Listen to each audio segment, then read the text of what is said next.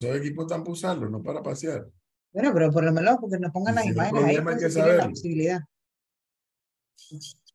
Mientras esperamos a Richard, eh, está el ambiente político se sigue calentando, el partido Molirena tuvo convención y reiteraron al diputado Francisco Pancho Alemán como máximo dirigente de ese colectivo.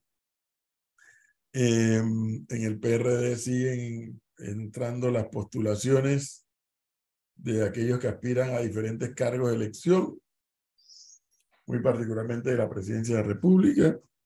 La situación en cambio democrático se sigue tensando toda vez que se aproxima la fecha. ¿Cuál es que es la fecha de, de cambio democrático? Este mes, el 19, creo, si no me equivoco.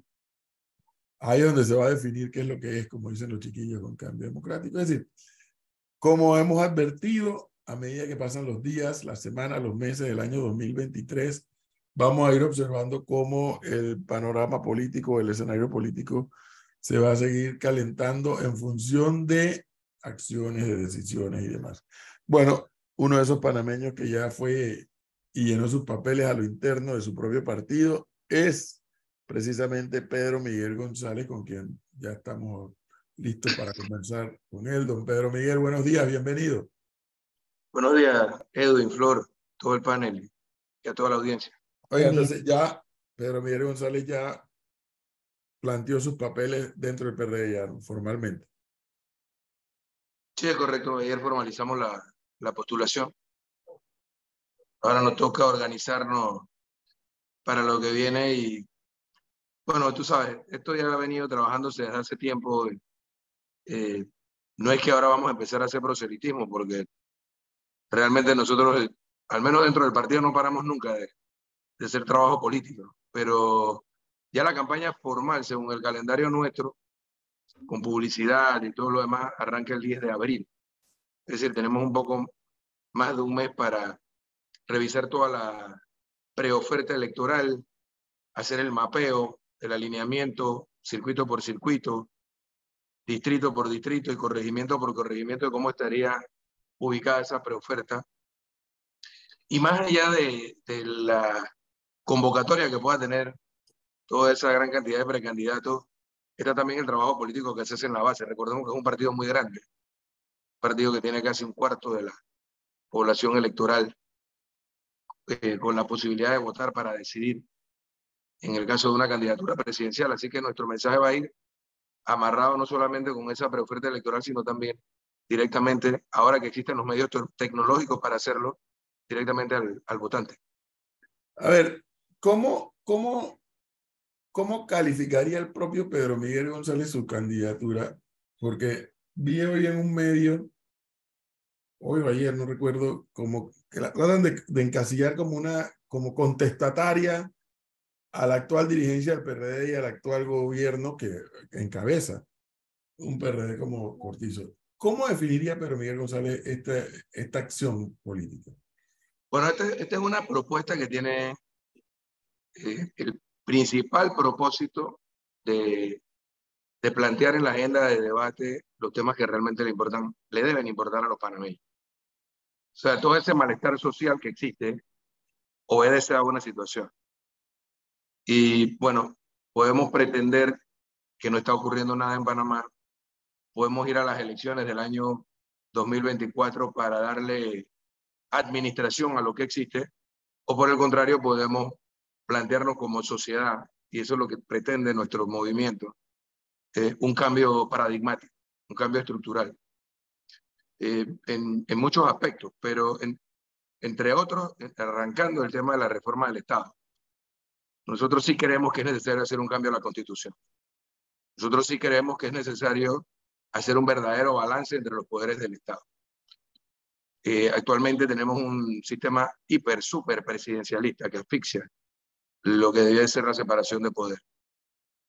Por un lado. Por otro lado, que fortalezca una reforma a la Constitución que fortalezca las, instituciones de control y le brinde eh, fortaleza financiera y presupuestaria.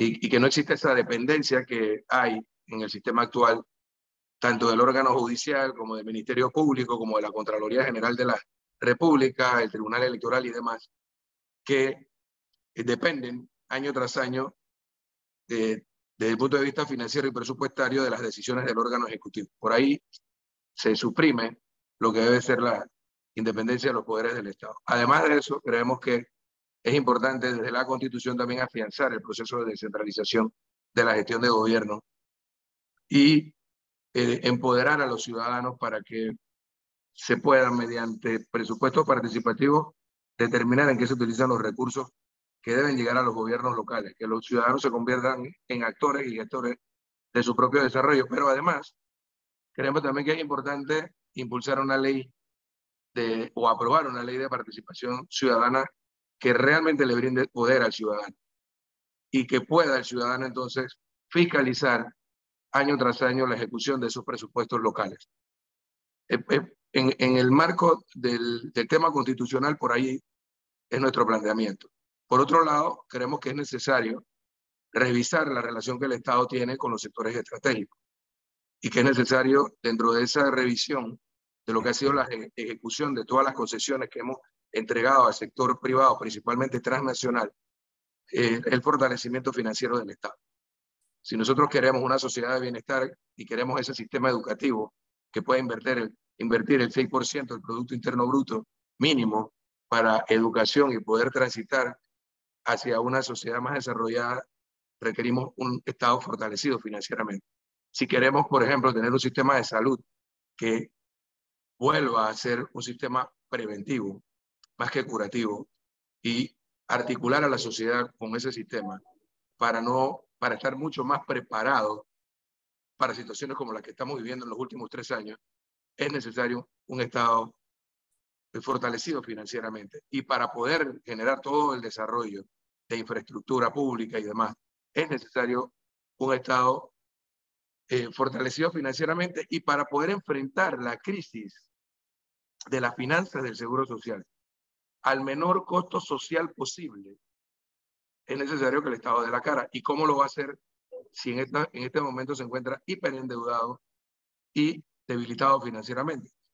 Entonces, es importante hacer este tipo de planteamientos porque fíjate, hubo una discusión durante más de un año de un diálogo que convocó el gobierno, el, el del Bicentenario, que fue un diálogo totalmente insulso, un diálogo sin contenido, un diálogo que no tocó los temas que realmente son estratégicos y que creemos que deben eh, discutirse en esta pre-campaña o en esta campaña interna del partido, pero que también deben discutirse de cara a las elecciones del año. Eso, eso quería preguntarle a Pedro Miguel González.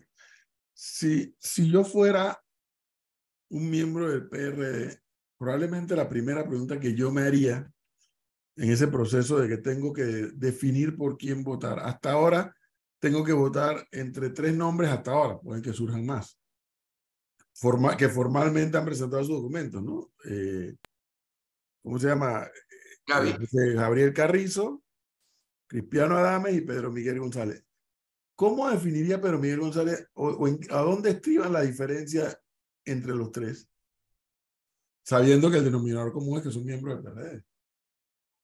Bueno, yo, yo creo que los electores pueden hacer un análisis de la trayectoria política de cada uno.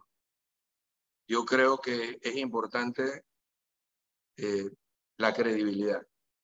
Yo creo que es importante el mensaje, el contenido del mensaje. Más allá de la fanfarria y de la campaña publicitaria, es cuál es el propósito, el para qué. ¿Para qué quieres ser presidente? ¿Para qué quieres dirigir un país? ¿Cuál es tu propósito? Bueno, el propósito nuestro es llevar adelante esta agenda de transformación, que no será posible si no generamos una gran alianza social. Yo pienso que los miembros del partido deberán analizar eh, qué mensaje de los que reciban es el que tiene más credibilidad, es el que tiene más viabilidad. Pienso también que presentarle una candidatura alternativa a la sociedad panameña desde nuestra perspectiva, es la mejor opción que el PRD puede tener. Cuando digo alternativa, es alternativa a lo que tenemos. Porque la candidatura oficialista es, darle continuidad a lo que ha venido ocurriendo en estos últimos casi cuatro años. Yo creo que los panameños merecemos algo mejor. Yo creo que el torrijismo está en capacidad de ofrecer algo mejor. Y no es una propuesta, Edwin, y quienes me escuchan, no es una propuesta que ahora nos hemos sacado del sombrero o, o la estamos improvisando. Fue el producto del debate y la discusión y los aportes de alrededor de 1.800 profesionales del partido que trabajaron arduamente durante casi dos años para generarla. Además es una propuesta conocida porque al menos 16 reuniones hicimos en el año 2018 para plantearla porque es una visión a largo plazo.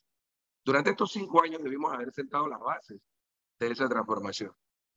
Y realmente no ocurrió o por la pandemia, por un lado, o por falta de voluntad política. Cuando tú ves que ella va saliendo de la pandemia y no viste a lo largo de estos casi cuatro años decisiones orientadas hacia sentar esas bases, entonces te das cuenta de que nunca hubo el compromiso en el liderazgo político electoral que ganó las primarias del año 2018 y con el que ganamos las elecciones del 19. Entonces, pero Pedro, hay un, tema, hay un tema que quiero rescatar porque creo que lo valioso de esto debe ser el debate político, ideológico que ojalá pudiera tener esta sociedad para que pueda confrontar ideas. ¿no? Yo escuchaba ayer la intervención de Pedro Miguel González en el momento en que eh, presentaba sus documentos, después de haber presentado sus documentos, y, y Pedro Miguel González era crítico de los, los temas estratégicos en manos de la empresa privada. Habló de la electricidad, habló de la minería, y creo que hay un tercero que no recuerdo cuál era, creo que eran los puertos. No, la energía, telecomunicaciones, minería, telecomunicaciones. marítimo, portuario. Pero, Pedro, toda esa acción y todos esos cambios los produjo precisamente el PRD en, gestión de gobierno. Cierto, eso es cierto. Entonces, por eso no entiendo. No, no, no, es que, es que eso es cierto y, y, yo, si, me das el tiempo, lo, lo explico rápidamente. O sea, Panamá es un país pequeño, un país que estaba asfixiado económicamente producto de la crisis de finales de los 80. Eh, no entremos en ese tipo de discusiones, pero fue una realidad, hubo una crisis, una depresión económica y una fase de recuperación que se dio durante el gobierno del presidente Endar. También hubo la imposición de la aplicación de políticas públicas que fueron aplicadas en América Latina y que se postergaron en Panamá producto de la crisis de los 80. El gobierno de Endara no tuvo la fortaleza a la salida de la democracia cristiana del gobierno para poder profundizar esos cambios y solo se dictó la ley de privatización y se adquirieron una serie de compromisos. Cuando llega el PRD al gobierno con el doctor Pérez Valladares en el año 94, llega eh, a menos de cinco años de la invasión con una gran expectativa. Y bueno, por su formación eh, ideológica, si se quiere, pero además, eh, quizás por la presión también del partido y la realidad, el, el, cambio estructural que se hace en Panamá es distinto a lo que ocurre, por ejemplo, en Chile y Argentina, donde se privatizó todo. Eh, nosotros preservamos el 51% de las acciones para Panamá, 49% para el Estado, 2% para los trabajadores. Se generó un fondo, un ahorro nacional, no se despilfarró la plata como con las empresas públicas que fueron privatizadas con el DARA, que fueron al gasto corriente, a pagar planilla, no. Se creó el Fondo Fiduciario para el Desarrollo, que ha servido mucho para mejorar la calificación económica de Panamá. Es decir, cuando se tomaron esas decisiones, íbamos arrastrados por una corriente.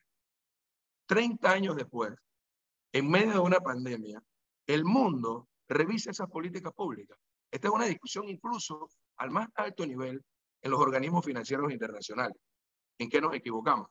Bueno, en el caso de Panamá, ni siquiera estamos planteando, fíjate, Edwin, reversar el reloj de la historia y estatizar esas empresas de lo que estamos hablando es que el Estado panameño, que es accionista, y junto a, los trabajadores de aquellas empresas, mayoritarios de, de esas empresas, debería tener la posibilidad de revisar esas concesiones, debería tener la posibilidad incluso de auditarlas, porque a lo largo de los años, lo que ha ocurrido es que estos concesionarios extranjeros, porque son empresas privadas, pero transnacionales, se han eh, logrado reducir al mínimo las utilidades y los beneficios para Panamá, porque ellos doble facturan, triple facturan, ellos no solamente hacen eso, sino que subcontratan empresas filiales y reducen al mínimo, y el aporte a Panamá es mínimo. De eso es de lo que estamos hablando, en energía, en telecomunicaciones, en, en, en el caso de los puertos, bueno, vimos, y yo fui crítico, siendo secretario general del partido, de cómo sin más ni más se le renovó el contrato a Panamá Ports, que, es una empresa que nos ha venido burlando durante todos estos años. Bueno, yo pienso que el Estado panameño debe tener la garra y la fortaleza y el respaldo también para poder revisar estas concesiones y e, exigir y garantizar que el Estado panameño reciba lo que debe recibir. Igual ocurre con el tema de la minería. Bueno, ahora hay toda una discusión. Pienso que todavía esos 375 millones están muy por debajo de lo que Panamá debiera aspirar. Pero ni siquiera eso hemos podido obtener de esta transnacional. Entonces, de, eso es de lo que se trata, de que nosotros podamos eh, poder ejercer soberanía sobre nuestra riqueza. Permíteme. en, la práctica, en la práctica, lo que ocurrió con la aplicación de todas estas políticas es que le transferimos al sector privado, y no al sector privado nacional, al transnacional, el control sobre nuestra riqueza. Y en la práctica lo que ha ocurrido es que a lo largo de los años, estas transnacionales se han encargado de sobornar a cuanto tomador de decisiones ha habido a lo largo de los años para garantizarse beneficios para ellos y eh, quitarle los beneficios a la nación panameña. De eso estamos hablando. Permítame, doctor Pedro Miguel González, yo escuchándolo me llevó eh, eh, o me vino a la mente la imagen del ministro de Hacienda de Chile o la ministra de Minas de Colombia. Eh, yo quisiera preguntarle a Pedro Miguel González, candidato presidencial, no precandidato del PRD.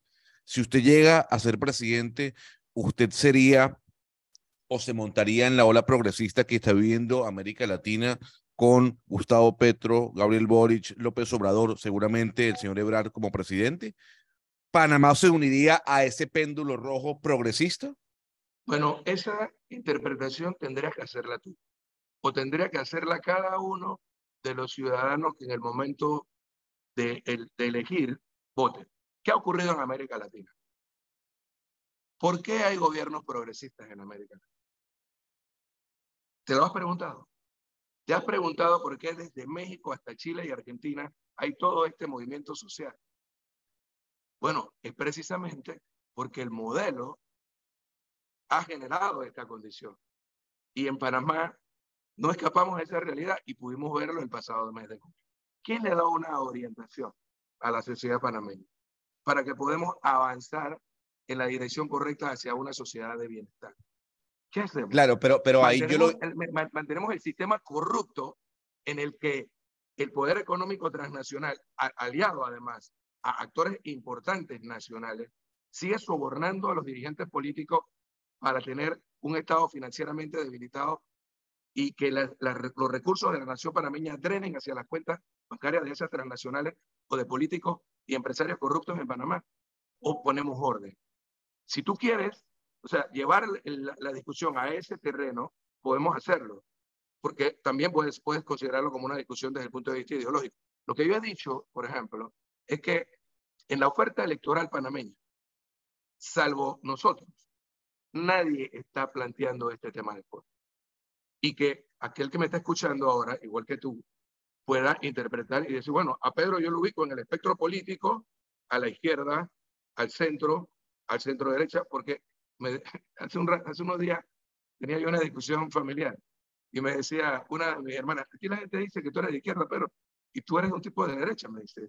Yo lo que pasa es que tú estás más a la izquierda. Los que están a mi izquierda me ven a la derecha y los que están a la derecha me ven a la izquierda. Eso es no, lo, yo lo, lo que, pasa es que a la izquierda. No, a ver, a ver, doctor Pedro, lo, lo que pasa es que hay una realidad es que, y es yo no es que, ¿sabes que cuando yo te escucho a veces pienso que tú quieres encasillarme eh, eh, no, que pudieran haber sobre uno en lo absoluto, en lo absoluto. Lo que puedes esperar de mí, lo que sí puedes esperar de mí, si llego a tener esa oportunidad, lo, lo que sí puedes esperar de mí es que nosotros vamos a lograr o procurar lograr la mayor alianza social para darle viabilidad a un cambio estructural en Panamá. A un cambio estructural en la dirección que te estoy planteando. Yo no en la dirección de revisar las concesiones y los marcos regulatorios para garantizar el fortalecimiento del Estado y desde el Estado poder aplicar las políticas públicas que generen una sociedad de bienestar. Perfecto, perfecto, eh, eh, don Pedro. Y yo le voy a decir algo. Yo no, yo no, no me gusta encasillar a nadie, pero lamentablemente el debate ideológico en Panamá es pobre. Y cuando aquí se habla de fortalecimiento de Estado, usted y yo sabemos que desde la derecha o del lado de los liberales no se habla de fortalecimiento del Estado. Y usted y yo lo sabemos. Quienes debaten, quienes debaten el fortalecimiento del Estado pueden ser sobre todo los economistas eh, digamos, más progresistas y no tan liberales. Lo que pasa es que cuando hablamos con políticos en este programa, les da miedo decir que son liberales o, son progresistas. A diferencia de lo que ocurre en otros países. No, no, disculpa, disculpa, disculpa. Disculpa, porque no te contesté adecuadamente la pregunta. No hay que no haya la más mínima duda, es que el PRD, por definición, es o debe ser un partido progresista. Así nos definimos nosotros en nuestra declaración de principio.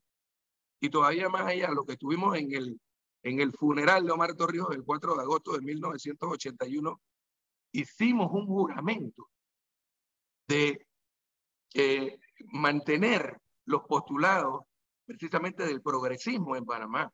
De eso es de lo que se trata. Es más, nuestro partido existe con ese propósito de ser un instrumento de transformación social, que en el camino en el curso de la historia, eh, por circunstancias diversas, la, conducción del partido se haya girado hacia la derecha y la sociedad panameña nosotros nos ubique no en el centro ni en el centro izquierda, sino eh, al centro derecha, esa es otra realidad, porque eso también tengo que reconocer. Por supuesto. Y lo que nosotros estamos planteando es movernos de posición hacia donde debemos estar desde el punto de vista ideológico. Por, hay, por supuesto. un partido progresista. Muy bien. Entonces, eh, entonces que no le dé miedo decir, ojo, lo que pasa es que hay un tema aquí de votos, porque, y también los electores cometen un error. Los electores cometen el error de pensar de que toda la izquierda es como Venezuela, Cuba y Nicaragua, cuando hay otro tipo de izquierda. Entonces, cuando uno habla de progresismo y dice, oiga, nosotros queremos replicar el modelo o seguir, no, más que replicar,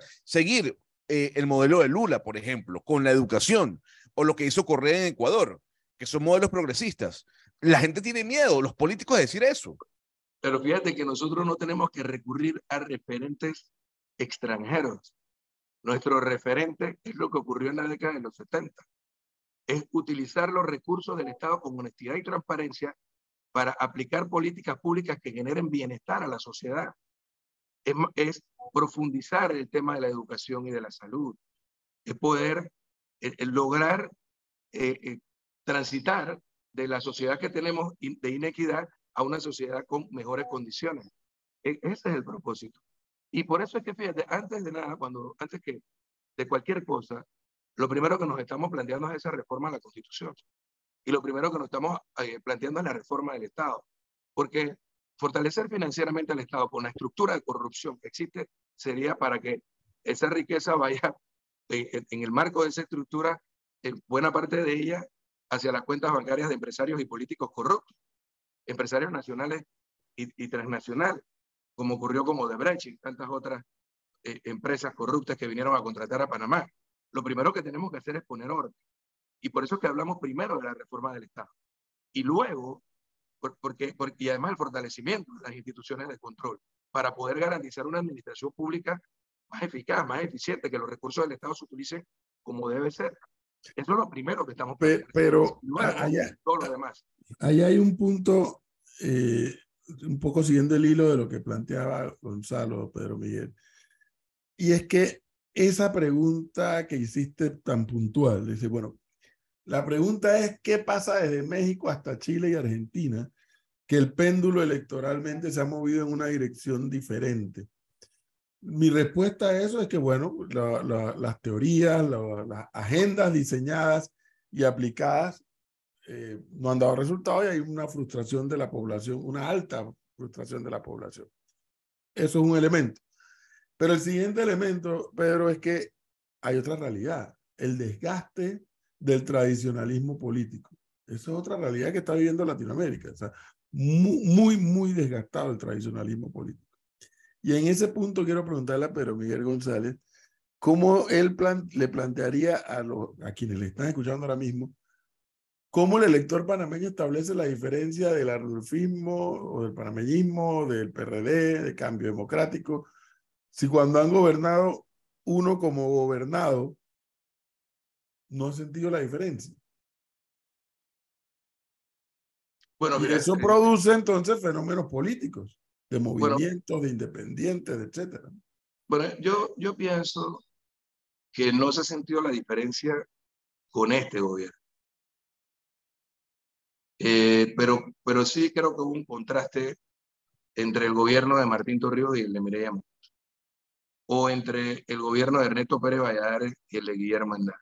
Y el de Guillermo Endara, no porque estuviese inmerso, porque la estructura de, la corrupción que se fue construyendo a lo largo de los años, pudiéramos decir que no estaba eh, tan afianzada durante esa administración.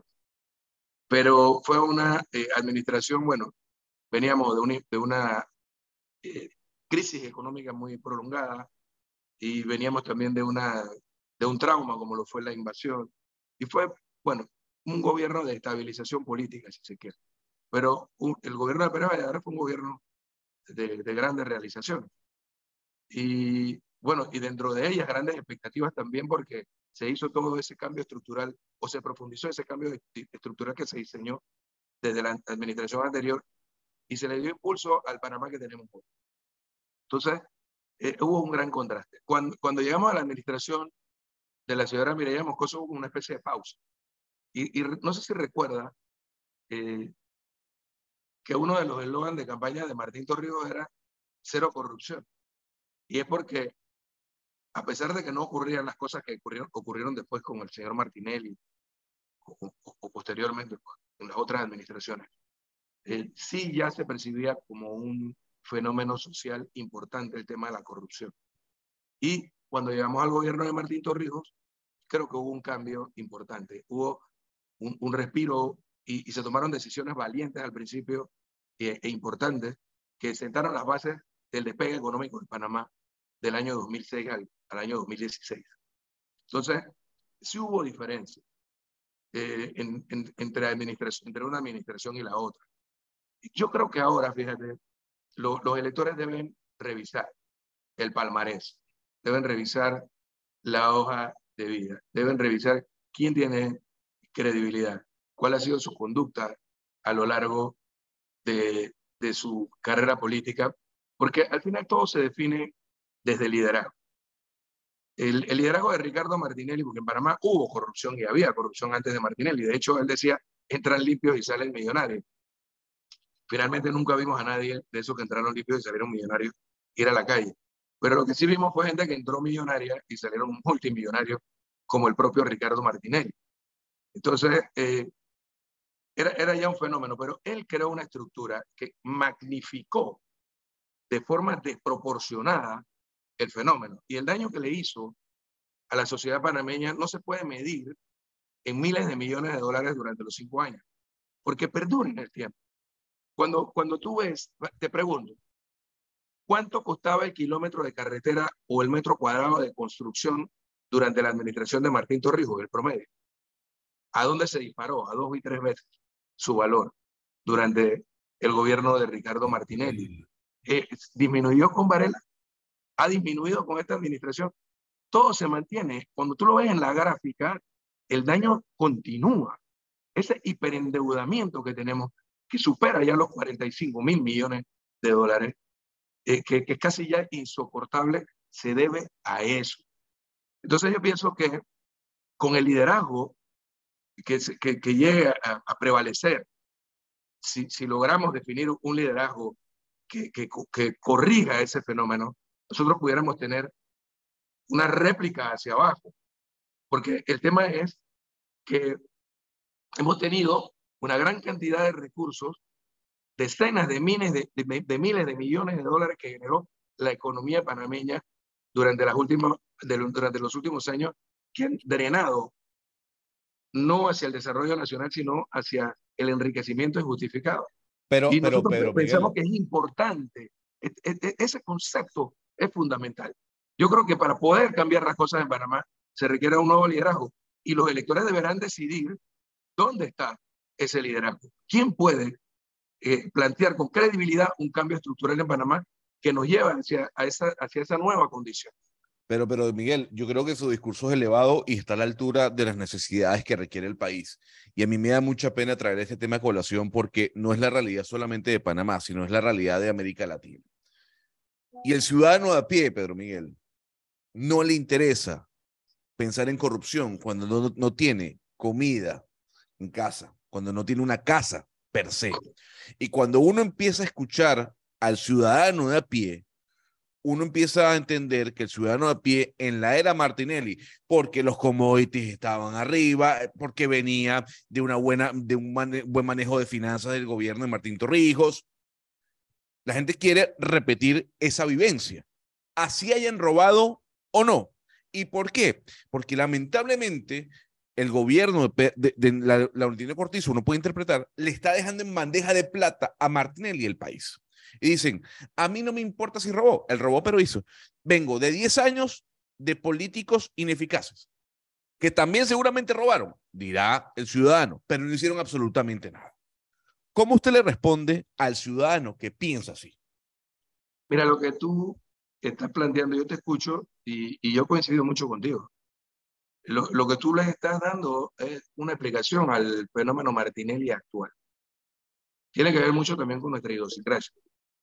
¿no? Y, y con, con, el concepto este de, bueno, que, que planteaste, ¿no? Todos son corruptos, pero bueno, este fue un corrupto que dejó eh, o, o, generó mayor bienestar.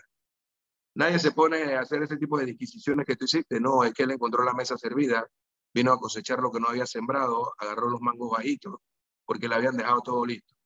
Eh, eh, se sabía eso, que, el que llegaba en el 2009 iba a tener las condiciones que no tuvo ningún otro gobierno. Eh, y el fenómeno Martinelli es una realidad. La mayoría de la gente que piensa votar por Martinelli, piensa votar por él bajo el concepto que tú acabas de plantear.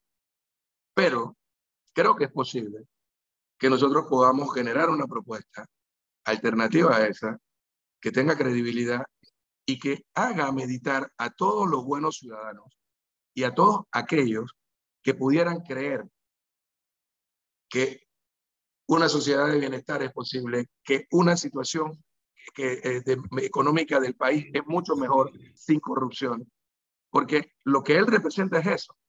Él representa más de lo mismo. Pero ahora lo que debe también meditar a los panameños que me están escuchando y que simpatizan con él es que la situación de Panamá para nada se parece a la que teníamos en 2009 cuando él llegó.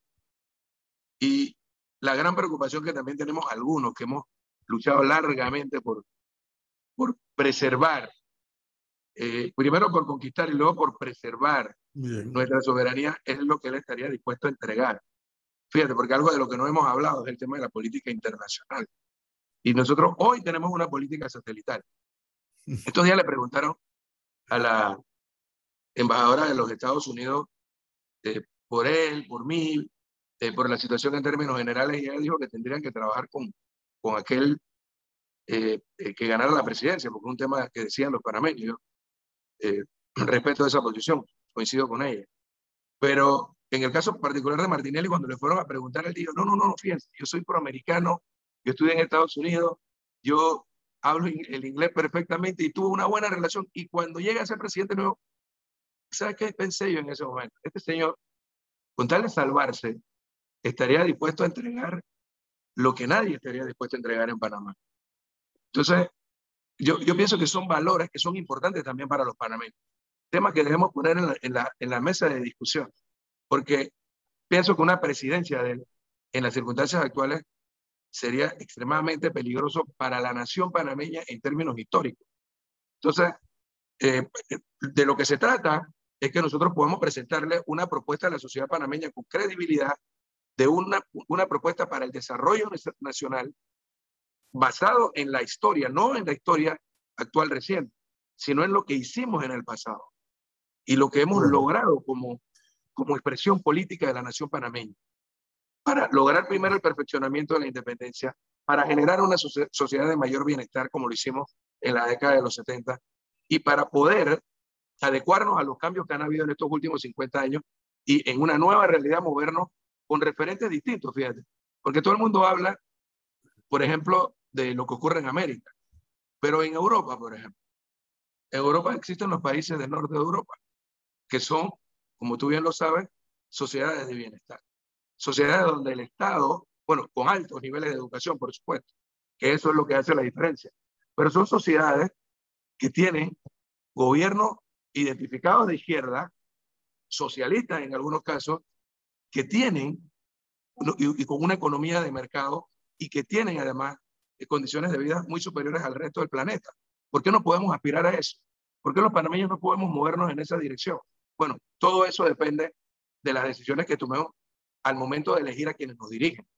Y por eso es que estamos planteando este tema. Yo creo que Panamá podrá elegir en el año 2024 si desde el torrijismo surge esta alternativa progresista para las elecciones del 24 entre lo que fuimos en algún momento adecuado a nuestra realidad o lo que representa la corruptela que liderizaría el señor Martinelli.